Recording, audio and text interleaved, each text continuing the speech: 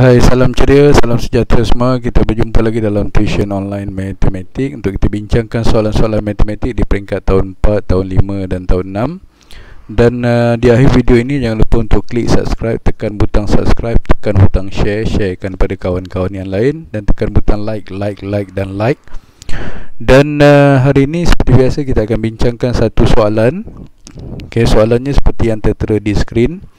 Soalannya adalah 3472 bahagi dengan 7 Okey, jadi kita buat 3472 bahagi dengan 7 Dalam proses bahagi panjang. Okey 3472 bahagi dengan 7 Okey Jadi dalam uh, soalan ini Ini adalah dalam soalan uh, wang eh.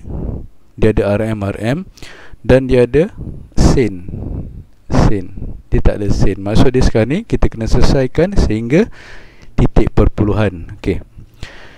Jadi dalam soalan ini kita tengok trend jawapan. Kalau soalan dia berkaitan dengan uh, adalah soalan kertas satu ataupun soalan pilihan objektif okey ada jawapan. Jadi semua pakai empat. Empat. Maksud dia kita pakai empat jugalah. Eh? sebab semua pilihan jawapan bermula dengan empat. So tujuh darab empat dua puluh lapan. Okey. Lepas tu 14 tolak 8 14, 13, 12, 11, 10, 9, 8, 7, 6 Okey, yang ni tinggal 2, 2 tolak 2 tolak 2 sifar habis. Okey, turunkan 7 Lepas tu kita nak pakai apa? Kita pakai 9 Ataupun apa? Kita pakai 9 7 darab 9, 63 Okey. Kita akan dapat 7 tolak 3 7, 6, 5, 4 Okey, kemudian kita turunkan 2 Okey, turunkan 2 eh.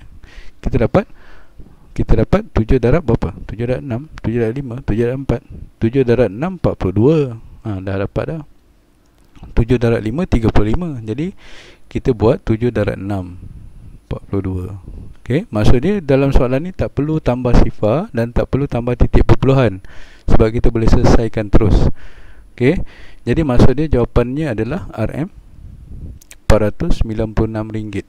Ok 496 ringgit pilihan jawapannya adalah D Okey, itu cara kita menjawab eh dalam soalan uh, berkaitan dengan kalau ada soalan objektif begini, kita tengok pilihan jawapan ni dia mula dengan apa? Kalau 4 4. Kalau semua pakai 9, pakailah 9. Okey, jangan pakai 8.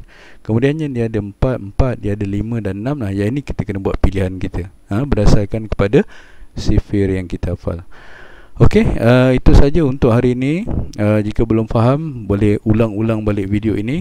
Jangan lupa untuk klik subscribe, tekan butang subscribe untuk anda mendapatkan uh, video-video uh, yang terkini dan uh, jangan lupa juga untuk klik pada like, like dan share, share, sharekan pada kawan-kawan yang lain.